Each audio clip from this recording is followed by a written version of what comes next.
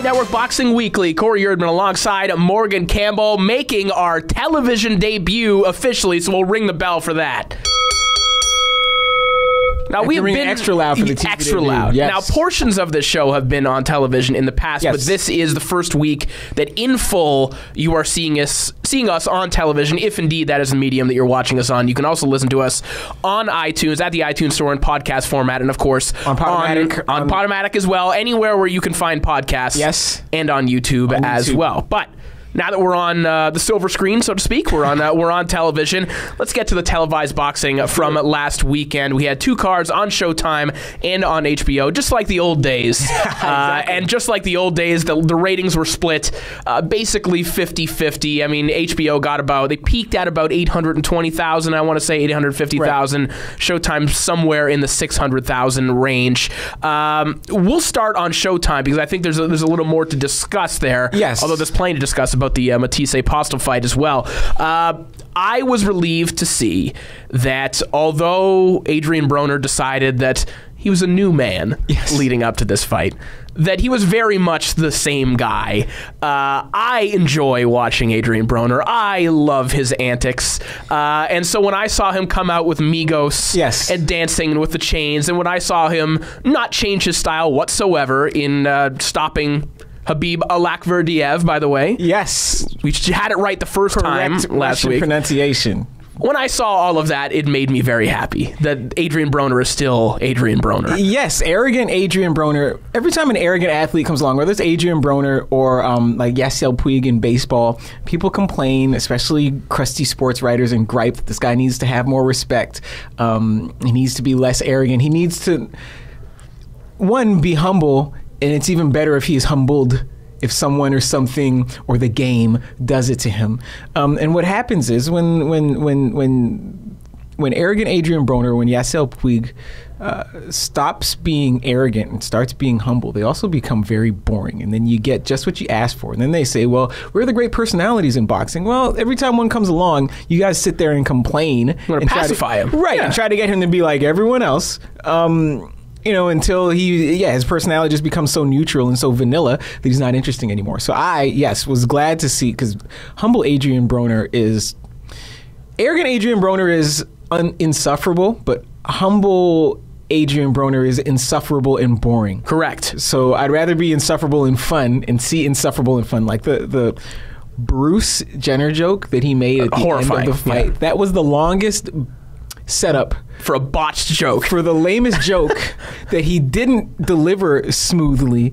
Um, and a joke that should never be made. ever, but except he's Adrien Broner, and and if he was in a sport uh, that more people cared about, he'd have been in big trouble. Yeah, he'd be If he- fine. Yeah. he was in a sport that had a league. and Even Jim Gray, by the way, and Jim Gray sometimes, when Jim Gray gets offended, he just takes the mic away Yes. and throws right back to Mauro Ranallo. This didn't phase Jim Gray whatsoever. Well, he saw nothing wrong with Jim this joke. Gray he chuckled was- along and just let him continue. He was complicit in it. This, Yes. this was no different from Jim Gray at this point. And it's funny about Jim Gray because he got such adulation and, and admiration and support from journalists when he took that hard line on questioning Pete Rose. Hey, Pete Rose, did you gamble on baseball?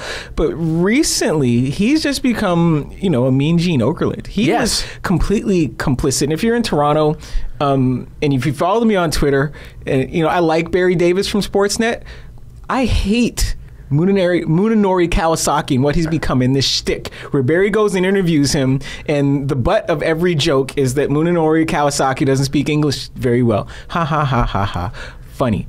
Um, it's they're not interviews; they're setups. And Barry sets up the joke, and then the punchline delivered by Kawasaki is that Kawasaki's English isn't strong. Ha ha ha ha ha. But Jim Gray at this point is no different. This was not too far removed from Barry Davis and Kawasaki.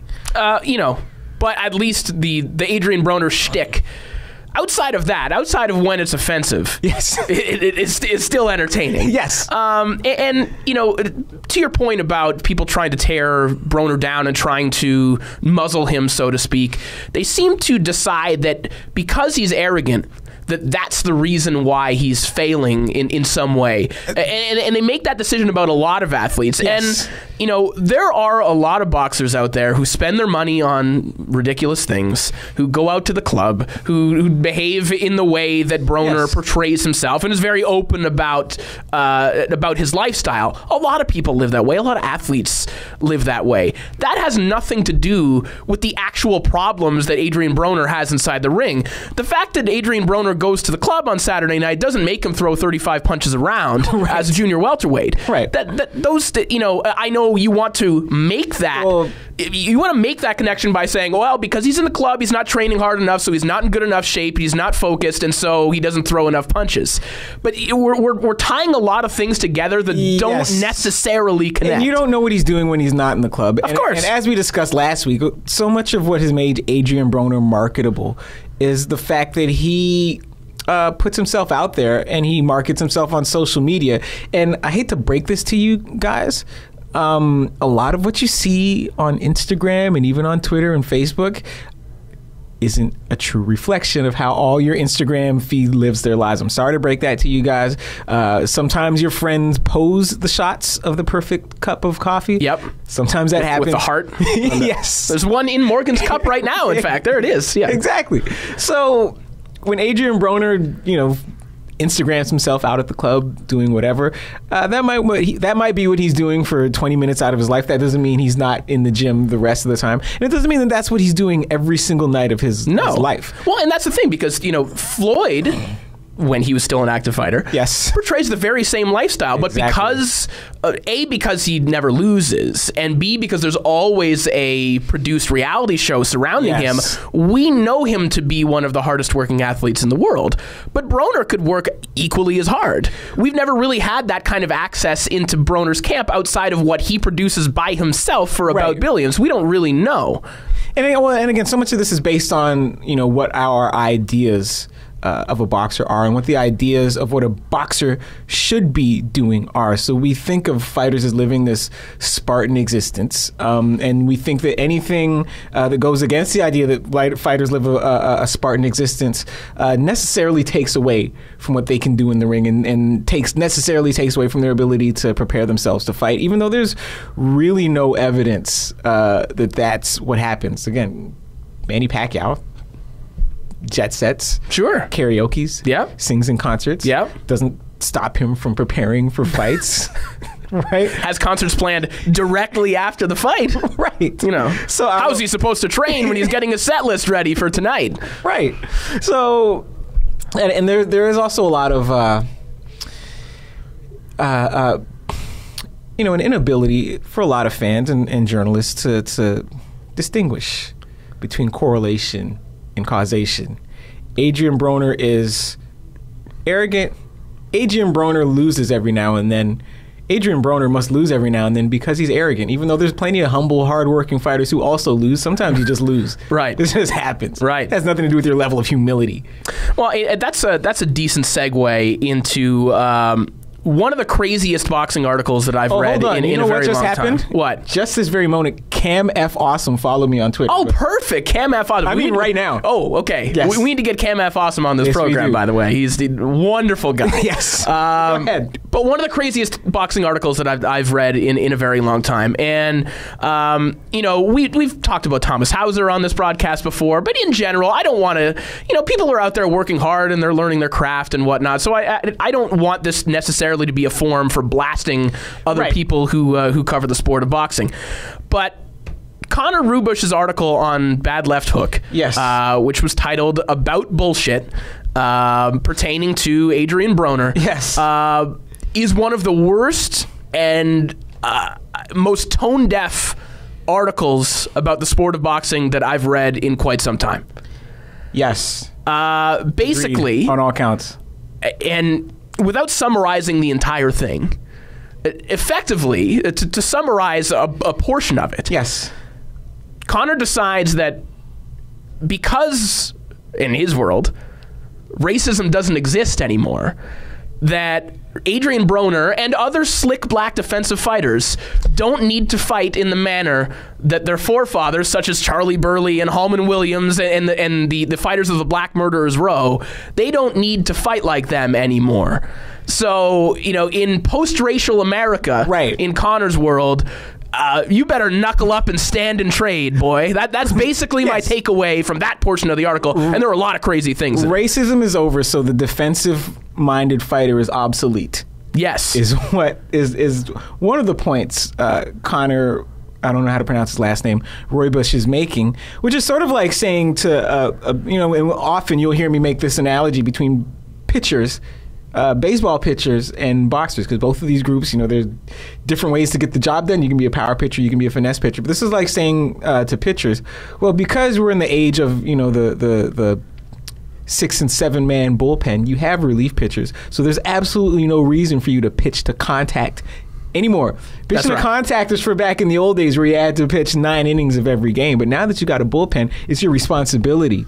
Uh, to try to strike everyone out, and if you run up 125 pitches by the fifth, fifth, fifth inning, well, who cares? Because you have a bullpen, and so it's never incumbent upon you, even if it's in your own self-interest in extending your career, to learn how to pitch to contact. Nope, strike everyone else. This is what he's saying. One of many things he's Yes. saying. Um, And the implication that these skilled fighters are just getting away with winning these fights and yeah, are fooling that- people well, in that's some the, way. That's the other point, right? Because there's there's this conceit that runs through the story, and the conceit is that these fighters bullshit, and then uh, like a, a, a defensive, a good defensive fighter is actually bullshitting people into thinking that he's winning a fight that he's not necessarily winning. Everyone involved. and and he's just so in love with this idea of BS um, that it kind of one it just it sidetracks him uh, from realizing that he doesn't he can get rid of the whole BS conceit and just say deception because that's what we're talking about. Right. about. That's what we're talking about. Is that guys like Mayweather or to a lesser extent Broner, but Broner's very different. We can talk about that. Um, aren't always winning fights as much as they're tricking you into thinking they're winning fights by fighting so well defensively, um, and that the only criterion is clean, effective punching. But if you're a good defensive fighter, your opponent's not going to land as many punches cleanly and effectively. And there are any number of ways to create a deficit between the punch, the clean punches you land, and the clean punches you receive. You can just throw more punches, or you can say to yourself, "Oh, hey, wait a minute. Why don't I stop him from landing so many punches, and then I'll land more." And I'll that's that's all, that's also deficit. implying that these great defensive fighters are only playing defense and aren't Yes. sharp, accurate punchers on their own. Yes. Um, we're getting the rap signal right here on this segment, but I do want to talk about this on the other side of the You break. I think there's a whole lot more to get into, and Yes. then we'll also talk about uh, Matthysse Postol. Uh, we will talk about Roy Jones and Max Kellerman's pound for pound list, which also came out of that broadcast. Yes. And uh, we love reviewing boxing reality television, so we have to talk about the road to Golovkin Lemieux. Exactly. Plenty more coming up here on Fight Network Boxing Weekly.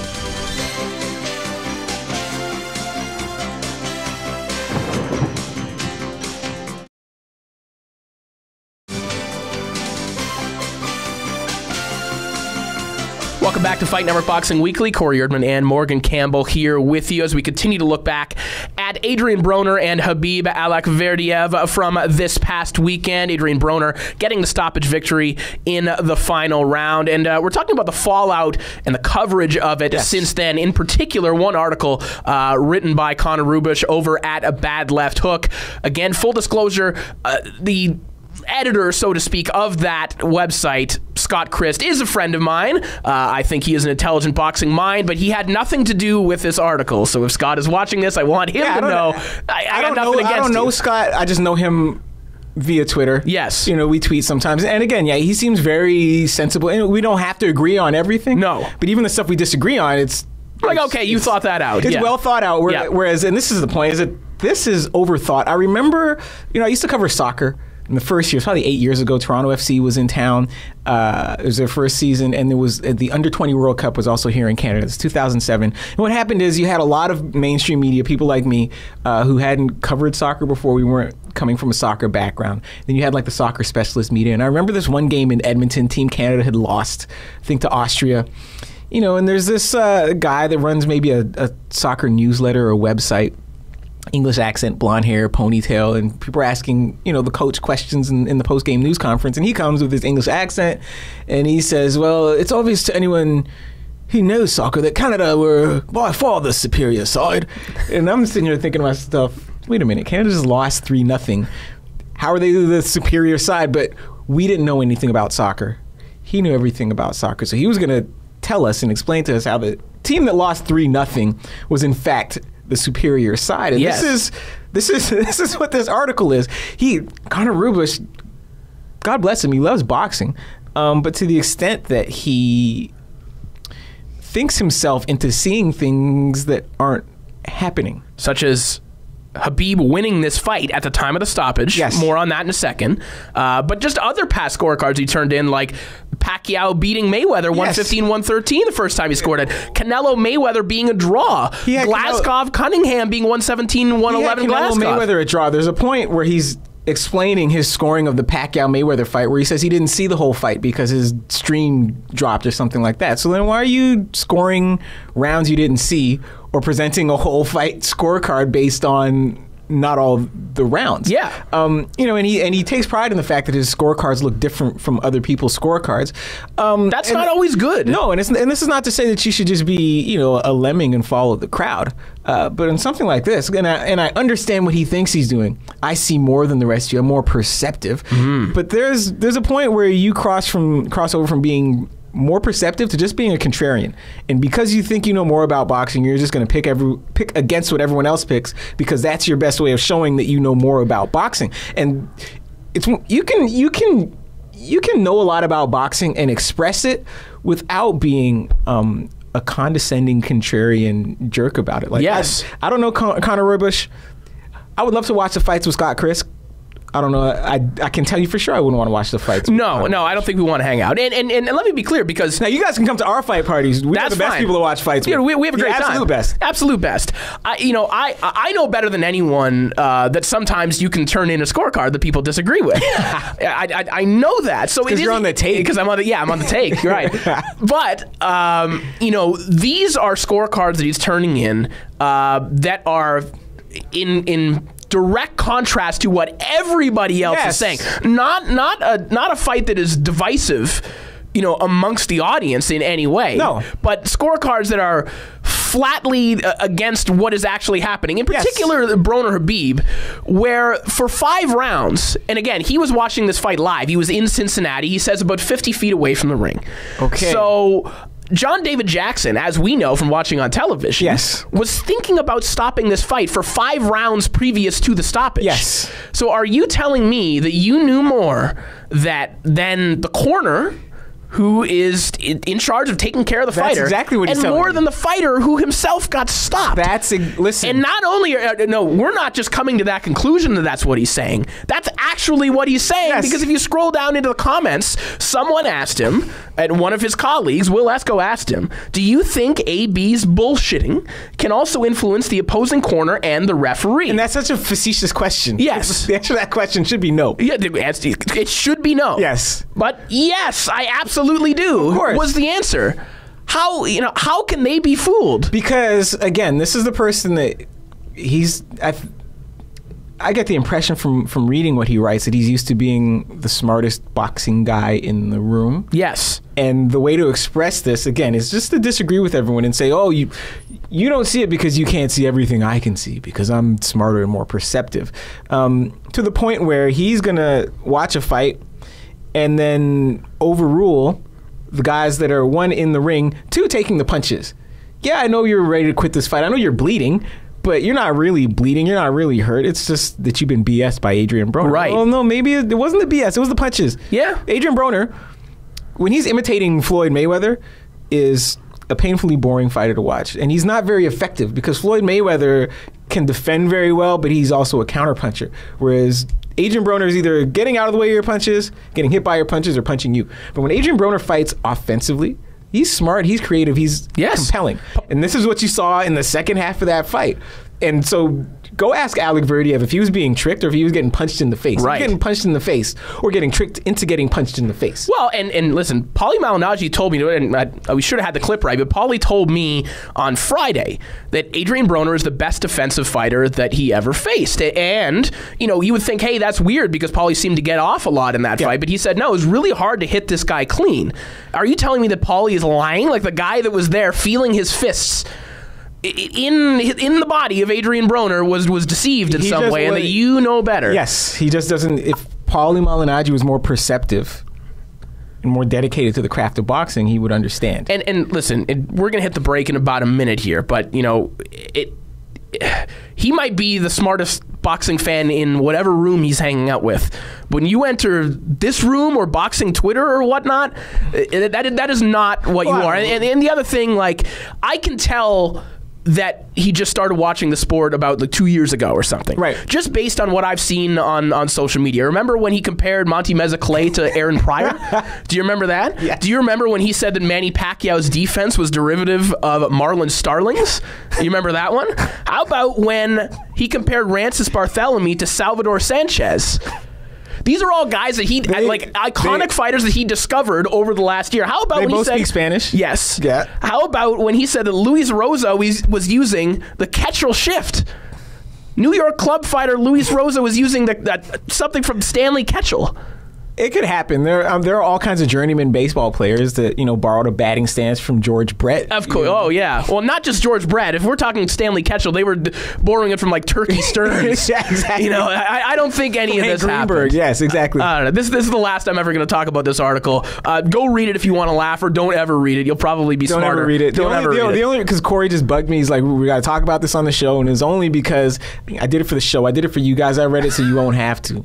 Uh, we'll switch gears. We'll talk about the HBO telecast Let's do it. uh, when we come back after the break. Matthysse and Postol, and uh, apparently we have a new star. Star is born, so to speak, in the 140 pound weight class. We'll be right back on Fight Network Boxing Weekly.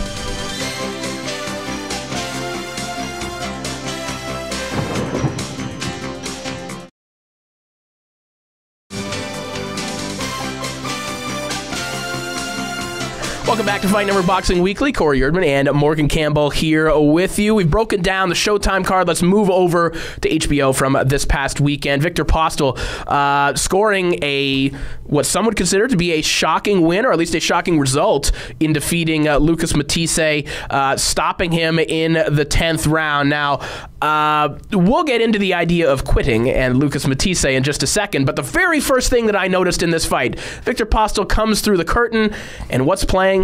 Simply the Best by Tina Turner. And this is just another example of Eastern Europe's fascination with this song and with Tina Turner. When I was when I was calling the World Combat Games in St. Petersburg, Russia, I had no clue. Tell me. every single time uh, someone received a medal, Yep. Gold, silver, and bronze. So three times for every weight class, Yep. for every single event, in every single sport, they played simply the best. And Viktor Postol comes out to simply the best. I guarantee you, every single Eastern European fighter either comes out to the Rocky theme, Yep. comes out to simply the best, uh, or We Will Rock You, or Roy Jones. Can't be touched. There's only four songs that they ever Jones- use. Well, as you know, he does he does shows in, in Russia. Yes. Remember he he beat the guy that looked like Bubbles from He's, The Wire. he is a Russian citizen, uh, which you really notice on these broadcasts, by the way. And well, remember he, he he beat the guy that looked like Bubbles from The Wire. Yes. And then afterward, he said, "Hey, give me the mic." Right. And started rapping. started rapping. Yeah, it can't be it touched. became an, it became a number one hit. Uh, Roy Jones loves any fighter from Russia, from Ukraine, Yes. from, and ever since he became Russian or was en route to becoming Russian, he is hundred percent in favor of these guys. He Yes. loved Viktor Throughout this show. and it's it's. I like Viktor Postol. Now he made, he made me look like a fool because I th- I thought you know as we were saying last week because I don't know that he had the power uh, to hurt Matthysse. Mm-hmm. Looks like I'm wrong. Yes. You know, and, and he he is a much more um, assertive puncher now than he was a year ago. Uh, now, whether or not, because the, the first thing they set up, you know, on that broadcast is, hey, we have another star, Bud Crawford. Uh, how would you like to see these two together? Um, Postol looked great against Matthysse, but fighting Matthysse doesn't tell you a lot about how you're going to do against Bud Crawford, who's a much better boxer um, and much more versatile. Tells you Matthysse. almost nothing. Tells you zero. Yeah. Tells you not a thing. but it does tell you that he can he can punch hard enough to get Lucas Matthysse out there and make him quit Morgan Well- because apparently now Lucas Matthysse is a quitter because if you have an that? eye injury uh, uh, lots of people Who said that? you go through boxing Twitter right now you will find many people saying that Lucas Matthysse quit and I guess they also think um, I'm trying to think of an example uh, John Mugabi when he fought uh, Duane Thomas Yes. broken orbital bone. John Mugabi, the beast, one of the most ferocious fighters ever. quit. Quitter. Quitter. Well, we always Quitter. have this What a discussion. horrible quitter. Alexis Arguello in Yes. the second fight with uh, Quitter. Aaron Pryor. Quitter. Yep. Israel Vasquez. Quitter. Muhammad Eric Ali. Morales. Muhammad Ali on his Quitter. stool against Yep. Larry. Is there, is there a Larry Holmes t-shirt around here? No. Uh, But- not right now, but Right. Quitter. Here's the thing. When you watch that, watch the replay. Watch the slow motion replay of that punch. You're not gonna you're not gonna see a guy land a more perfect punch. That was the punch that Adrien Broner was working on in, in practice. You know, the step back, the draw, yeah, yep. straight right hand, which always works beautifully against a guy holding pads, but like in the real world against a professional, very rarely does it present itself to you that cleanly. And he was able to step back and put all the weight on his back foot and put all the weight on his front foot Right. and put his whole it wasn't an arm punch, it was his whole body.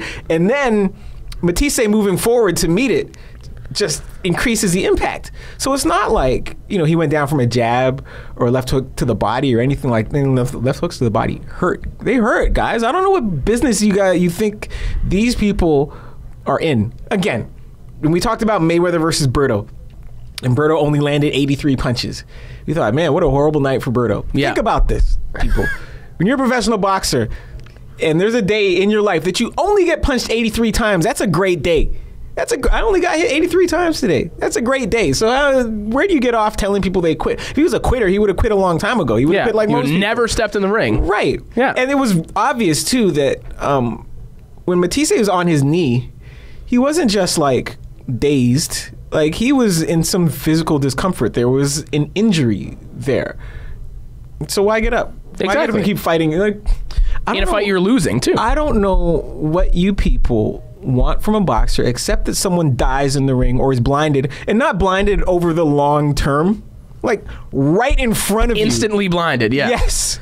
Oh, perfect. He'll never see again out of that eye. Now I'm satisfied um, at this fight that I didn't even pay for Because they declare him a. Twitter uh, a quitter, excuse me, until further proof, until proven wrong, until he says I have a broken orbital bone. Until proof of what? exactly. I I, I- don't He understand. got hit with the perfect punch. Yeah. Quit too. I will say, if we are, and we're getting the rap signal on, on this segment, if we are going to make light of this in any way, I wonder if those uh, NWA Not With Al t shirts that included Lucas Matthysse, are those on for like 75% off right now? They're gonna- They're going to just put Viktor Postol in there Yeah, it's going to be like those uh, championship T-shirts from the team that loses. yes. The the, uh, the the Seattle Seahawks 2015 Super Bowl champion Right. T-shirts. They're off going to an orphanage somewhere. Even though, might I add, two of the fighters that were on the original t shirt, they've lost to Haymon Had fighters. already lost the That's fighter. all right. They're So- making up a new batch with uh, Postol. Right. there. So on top of it being inaccurate and appropriating and racist, you know, whatever.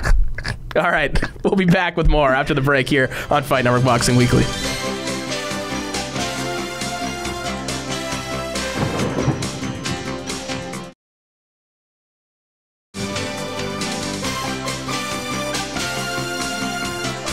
To Fight Network Boxing Weekly. Corey Erdman and Morgan Campbell here with you. Uh, we just talked about Viktor Postol and Lucas Matthysse. One thing I wanted to touch on, which we sort of alluded to in the broadcast, uh, which to me might be the best talking point from that broadcast entirely, Yes. is the pound for pound list Yep. that was revealed from Roy Jones, or at least the number one on their pound for pound list Yes. for Roy Jones and for Max Kellerman. Now, Max sort of hedged his bet later on by saying he thinks that Andre Ward is number one. Yes. But when Roy Jones came out and said Vasily Lomachenko is the number one pound for pound fighter in the world, Max Kellerman's immediate response was, I, I agree. Why? And then for a second, sort of had to backtrack a little bit, but you could tell that he sort of thinks that, or can at least make that argument. You can't make that argument. In order to make that argument, you need to forget that he lost to Orlando Salido, and that's not say. that's So- not to discredit Lomachenko and how great he is and whatnot. But we clearly want him to be a whole lot better right now, right out of the gate, than he actually is. So yeah, that would make so if Lomachenko is number one pound for pound, then wouldn't that make Orlando Salido one A? or Roman Martinez, Roman? Mart- yeah, right. be number one Right. super champion. And I understand, um, to your point, HBO's desire, you know, on the other side, Showtime's desire uh, to anoint a new top pound for pound, uh, a new top pound for pound, drop everything and see this guy attraction right now because there's a void at the top of in the same way that like all these heavyweights are waiting for Klitschko to retire because there's a void. And what happens when this void is created is that all these guys who normally wouldn't get a sniff of the title um, now have a chance to be the champion. So now all these guys who good fighters, really good fighters, but not the star. Um, we're throwing these names out here, hoping one of them sticks. And Lomachenko, it's a more than a bit of a stretch. Yeah, well, I mean, the the consensus, I think, or the name that is most commonly pinned at the top of that list right now is Chocolatito. Yes. Is Roman Gonzalez, which I, I think is the fairest argument to make out Yep. there based on how active he's been recently. I think you can say Andre Ward can be number one, but given that we've only seen him, you Right, know, even- against Paul Smith recently, Or even. Rigondeaux, who always gets ignored in these discussions and erased from these discussions, hasn't lost. Hits the canvas every now and then, Mm-hmm. but hasn't lost. And again, for Rigondeaux, when he beat um, Donaire, Yes, that put him number three pound for pound. instantly. yeah. Yes, it was Mayweather, Ward, Rigo. Yep. Mayweather's gone. Ward, Rigo still hasn't lost. But he's Now- plummeting slowly in- plummeting, in, these and, rankings. And, and, and not from having lost. Right. But just from having been inactive because his promoter didn't want to promote. Right, and, and, and the same arguments that you would make about Lomachenko are very much there with, with, with Rigo. Yes. you know, you if you were to say that Lomachenko is anywhere in that in that top ten, you do so based on his amateur pedigree, Yes. uh, perceived level of skill, Perceived. uh, perceived advantages against other guys in and around his weight class, uh, or mythical matchups if they were all the Yes, same. because and the- Rigo has the same things. Yes, and except he's proven them. The argument because and he's proven them and he hasn't lost.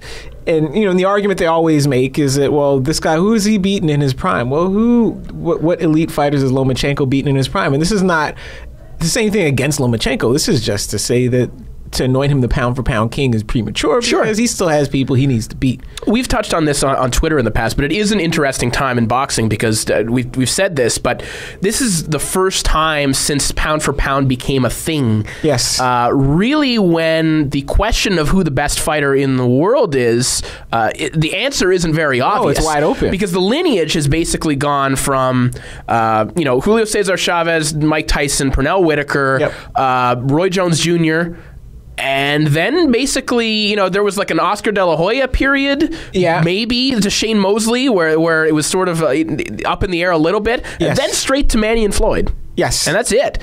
There's never been a question like this. Now you can make like I don't think you can make the argument for Lomachenko. No, you yet. can make the argument for for Chocolatito, for Andre Ward, uh, for other guys. I've seen people make it even for Vladimir Klitschko. These are all arguments that you can make, but we really haven't seen this time period since this list became a thing that we talked about. No, and and you know the next person people are going to start agitating for is um, your man Gennady Golovkin. Yes. And I think he deserves a higher place on that list than Vasily Lomachenko. And and, and as you mentioned last week, uh, there is this kind of tendency to speak of one all people from the former Soviet Republic. From, the, from all people from former Soviet republics as Russian, Yes. and then to speak of them as all one person as if they're not distinct individuals. Right. So we can just talk about Lomachenko, Postol, uh, Alexander Usyk, whoever you want to throw out there. Yep. as interchangeable, and they're not. Um, so, but Golovkin um, actually does probably have a, a more legitimate claim for a spot at the top or near the top of pound for pound than um, Lomachenko does. No disrespect to Lomachenko, but this is professional boxing. There's just more. There are more people he has to beat before we can say this is the absolute best professional boxer in the world. Uh, speaking of Golovkin, uh, he finally got the boxing reality show treatment, although only in a 15 minute format, uh, as, as HBO presented uh, The Road to Golovkin Lemieux. Yes. Um, what my, I mean, my takeaway. And it wasn't really a takeaway for me because, as people who have been in the in the Canadian boxing scene, I've gotten to know David Lemieux uh, over the years. I sort of know what he's all about. David Lemieux is infinitely more interesting to me than Gennady Golovkin. David Lemieux is a guy who knows seven languages, seems to be a wonderful chef, Yes. and is a pretty thoughtful speaker when you when you plug, when you clip the microphone onto him. Yes. that's way more interesting to me than the tired uh, They are- Golovkin stuff. Like you brought up Munori Kawasaki, by the way, and Yes. that tired that tired joke, that is the same same thing as people setting up Triple G to say he's a good boy. Yes, and and So tired of that, man. and here and now here, think we started the show with people taking arrogant Adrien Broner and trying to make him boring because they think boring is better for some reason. Now you have Gennady Golovkin, who's an, an exciting fighter, but by all indications, a painfully boring human being, and they're trying anything to make this guy seem interesting. They took the if you watch the the, the episode, you know they take the, the the tram to the top of the mountain. Yeah. And they say, "Look at this! Isn't he fascinating? He likes scenic views. Well, who doesn't like scenic views? That doesn't make him unusual." There's also just the top of a ski hill. It isn't even like a thrilling place to be or anything like that. It's like, hey guys, let's get on the top of the ski lift. And, uh, okay, we're here now. All right, yeah. Right? And they There's cut no to, snow. They cut to Abel Sanchez. Yeah, he really, really likes uh, the Serenity. Yeah. yeah. The other thing about they're they're trying hard to promote the guy. I'll give them that. Of course. Um, there's a there's a professional wrestling. There's a Curt Hennig feel to this, where yes. For you guys that are old enough to remember uh, Mr. Perfect when he first came to the world, it was the World Wrestling Federation back then, and they cut all these promos, and he would just be playing every sport perfectly because he was Mr. Perfect. So he would throw the football, catch it himself. Uh, he he ran the table in in pool. He played against Mike Modano in hockey. he was a net. Just yes. So here we have uh, Gennady Golovkin and his his buddies. For some reason, there's like a, a driveway basketball hoop, or as Ludacris would call it on Empire, a basketball goal. There's a basketball goal, and they're trying to hit like seated three point shots. So they're Shirtless. sitting, yes, Shirtless. fully transvanted, shirtless, sitting on the ground trying to three point set shot with two hands, seated, and no one can do it except Golovkin who comes, sits down, seated, hits the, the three point set Yes. shot from his bum. But says, this is too. By the way, there's also the implication in that scene, even with the narrator. I forget the line, but there's the implication that he just sits down and gets it on the first try. Yes. Except you can visibly see when the cut happens. Yes. Clearly, he took more than a No, few no, shots. Listen, hey, listen. if you start implying that these uh, reality TV shows are edited or staged in any way, don't let Dan Rafael find out because he will tweet. Oh, I'd Tweet a furious. storm at you. By the way, what did we tell you two episodes ago on this very show? A boxing reality show can't happen without a backyard barbecue for Yes. your supporters. There's David Lemieux, grill master, Yes. who seems to be cooking up fairly intricate uh, Lebanese dishes for his daughter earlier on. Single dad David Lemieux, and is then also grill master cooking filet mignon and some skewers for And some, some people as well. yes. you have to have that. There needs to be that scene in every single boxing reality TV show. They lost the coin toss. They're like, hey, listen, when do you got a barbecue, man? yes. Because imagine if uh, Golovkin had lost that coin toss and he had the barbecue. What would he make? Right. What would he make? Lemieux just happened to be this great chef. Well, it wouldn't be as good as Ruslan Provodnikov, who doesn't barbecue anything. Remember, he just eats raw meat, like raw seal That's and uh, whatnot. in- Why don't we get that scene? Enhanced bioavailability. That's right, yeah. Uh, the, the, the nutrients go straight into your cell, your cells when you, don't cook it. Oh man! All right. Uh, on the other side of the break, we're going to touch on uh, Joel Diaz now training Ruslan Provodnikov. Speaking of Ruslan, we're also going to talk about the KO King of Korea, Randall Bailey, who's on the comeback trail. That and plenty more when we come back on Fight Network Boxing Weekly.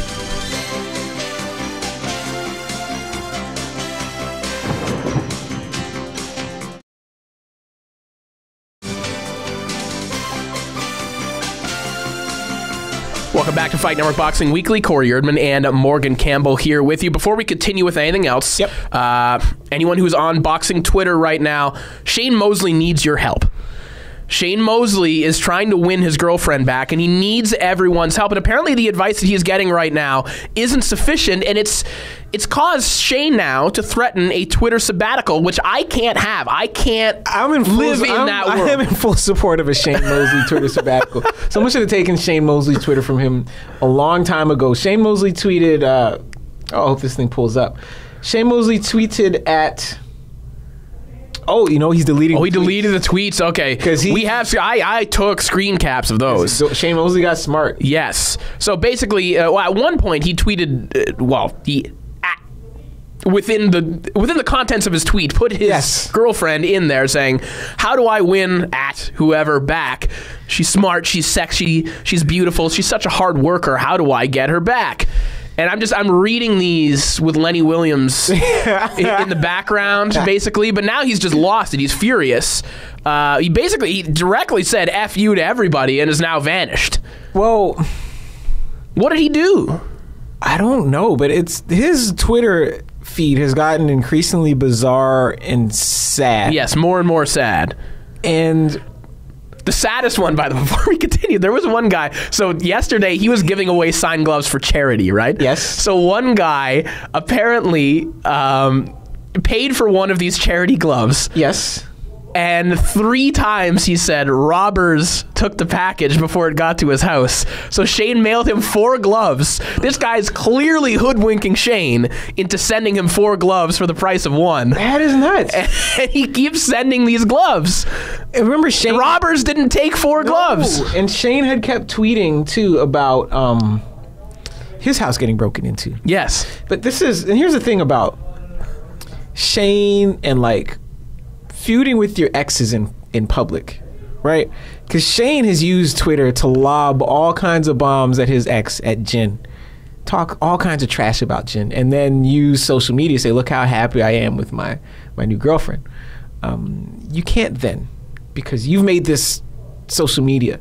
You, you, you've made social media the platform, the arena for this. So, you, and you want your ex to pay attention. Now your ex, okay, I'll follow you on Twitter, Shane, and see what's happening. And now she's seeing you beg for some girl that not only that left you, but you screwed up. Mm-hmm. So it's not like she left and you can say, yeah, you know what, good riddance because she screwed up. She did me wrong. I screwed up, and now you've you've already drawn your ex's attention to your plight. And so now there's there's nowhere to go from there. Like he is No. fully in the the no shame zone. And not to mention, like a day ago, he tweeted like pantsless selfies of him laying in bed with her. Clearly, there are other photos like on her phone. Yes. That if he did screw up in a serious way, are going to make their way to the internet probably in the next 48 hours. Yes. And things are going to get a whole lot worse for Shane Mosley. Yeah, and I don't. And, and it- I'm just trying to figure out where it went wrong for him because when you think about, you know, what we thought of Shane Mosley 15 years ago, you know, when he beat Oscar De La Hoya, he was Mr. Everything that's right with boxing. Yep. His family's around. He's photogenic. Yep. Trained by his dad. Neither Wears sweaters. to be nuts. Just like Gennady Golovkin, you put a sweater on a fighter, Right. automatic fan favorite. The thing about Shane Mosley too is that his reputation survived Balco. Like here's a guy that was working with Victor Conte. Say, hey, no, sorry, Shane will tell you he didn't say, hey, give me the EPO. Right. That that Conte's people said, hey, man, take this. It'll be good for you. You know his EPO. Take this cream. But yeah, but his reputation survived that. But he's doing everything he can uh, to make sure that you know in two years no one respects him and everyone just kind of pities him. Uh, speaking of significant others sort of getting involved in things, uh, Joel Diaz Yes. makes the somewhat unusual move to now train Ruslan Provodnikov after he has parted ways with Timothy Bradley. Now, Provodnikov, you would think, is Bradley's. What would you would you say greatest rival, toughest fight he's ever fight, had uh, in, in his career? So now Diaz is training him, and in the process of interviewing about why he made this move, he basically said that Bradley, who is managed by his wife, uh, he was not able to communicate with his fighter in the manner that he thought he could, and and sort of. You know, qu- quietly lobbed shots at Bradley's wife, and that just it never ever ends well. You can't do that. You can't do that. It doesn't matter how close you are either. Exactly. Right? That's his wife. yeah, it doesn't That's matter. the person he chose and who chose him. And the thing is, even if Joel Diaz is right, you still can't do that. no, you can't. She could be the worst, either the worst wife or the worst, worst manager Mm-hmm. or both. But the fact that she has both those jobs at the same time, and because you can't even preface it with like, "Hey, man, I love your wife as a person, but she's a crappy manager." Right? There's no Right. getting around it. Like Bradley's going to take it personally, and there's going to be a a, a, a split. And, and, and it's clear that that was the issue because the other day on Instagram, Bradley posted like a picture of a Louis Vuitton uh, like chest filled with a fake fifteen point six million dollars or whatever, saying like, "Look at what my manager has done for me. You know, I love you and whatnot." So clearly, this was the issue. Otherwise, he would never come out and say things was like this. Fifteen point six million. that is apparently the amount of money that Was he has made while was she has been his was it manager. cash? It was fake cash, yes. So like, the thing that Adam Jones should have known existed? Did he go to the to the movie prop store Correct. and get all this fake Correct. money and say, You could learn from the Desert Storm Instagram. we have just a couple of minutes left. We got to hit the break. We'll be right back with more of Fight Network Boxing Weekly.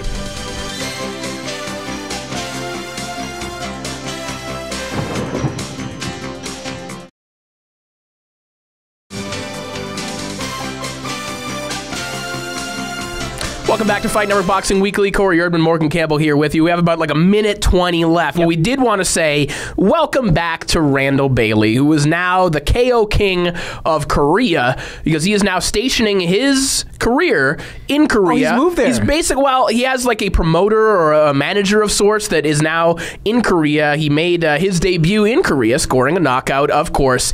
And uh, I, I don't know. He must be paid fantastically well because if you watch the footage and it's out there on YouTube, he scores the knockout, and then. uh, Clearly, they paid for like five members of his squad to be there. Yes. So they must be overpaying Randall Bailey to an extraordinary degree, and I say congratulations to you, and Randall they- Bailey. And that's money that they saved on facility rentals because the fight appears to be taking place in a high school auditorium. But can we welcome him back? I don't feel like Randall Bailey's ever really left. no, and I don't think he he's ever just will gone leave. underground. No, he's never going to retire. He's 41. Well, well, just got a knockout. He can knock out guys in Korea for the rest of his life. He could, and when he gets to the point where he can't knock out Koreans, he can go to Hungary. And when he can't knock out the Hungarians, he can go to Latvia. He can do this probably until about fifty-one. I think you and I need to go to Latvia if this ever comes to a to an end. if, I, if I ever need the cash, I know where I'm going uh, for a quick payday. All right, that about does it for this episode of Fight Network Boxing Weekly. Ring the bell, Morgan. Thank you, guys. We'll see you next week. yes.